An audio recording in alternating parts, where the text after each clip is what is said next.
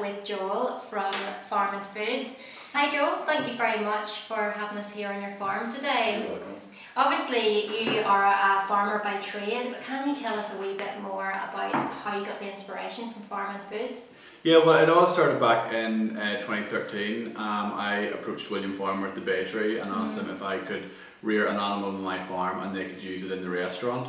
And we worked together to create an event called Meet Murray, which is basically where we followed a cow, which we call Murray, um, through each of the stages of the supply chain and tried to optimize it as best as possible. And we used the cuts from the whole animal to have a, a, a seven course meal. It proved really popular, so we did seven more of them, this time using native breeds, so Irish moiled beef, Gloucestershire butt pork, um, Southdown lamb, that sort of thing. And we did a barbecue as well, which proved to be the most popular, and we got asked to do more and more of those.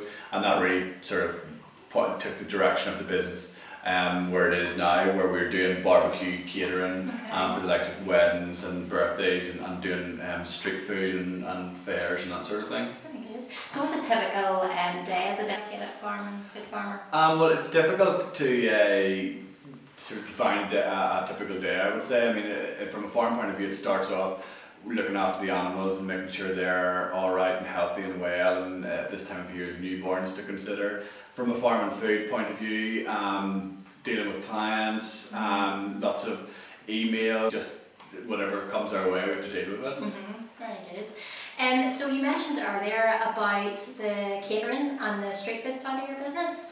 I hear you've got something very exciting coming up um, in the form of a meat hamper. Can you tell us a bit more about that, Joel? Well, um, the rare breed uh, side of things is something that's really of interest to me. Um, and we need to have good routes to market for rare breeds because they don't compete with commercial animals in terms of size, but they do in terms of flavor. Mm-hmm. Um, so it's really, really good, um, tasty meat that's been slow grown, and so it's full of flavor, full of marbling, um, and really, um, you know, top notch in terms of taste. So coming up um, at the end of June, we have uh, a variety of meat boxes. One will be from Irish moiled beef and the other will be from Dorset Horn Lamb. Um, so we have a couple of the Irish moiled. We have one box geared toward the family and we have a, a box geared towards more sharing box. And um, because I work closely with um, with William who owns the Baytree, then we've got good um, a you know expertise on putting together recipe cards and different yes. wee rubs and sauces and stuff which will be included in the hampers. Yeah,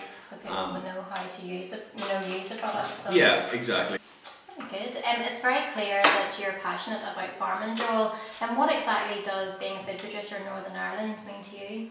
Well, I think because Northern Ireland's a small country, um, it's difficult for us to compete in a mass production scale. So I think Northern Ireland is all about small artisan producers mm -hmm. just offering quality premium produce.